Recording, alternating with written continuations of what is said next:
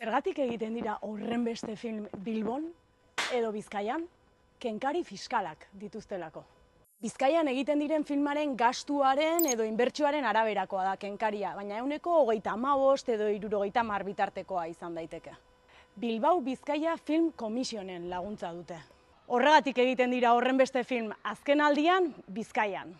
Datuek hau diote, 2000 eta hogeita iruan berreun eta irurogeita bederatzi ikusentzunezko ekoizpen egin ziren.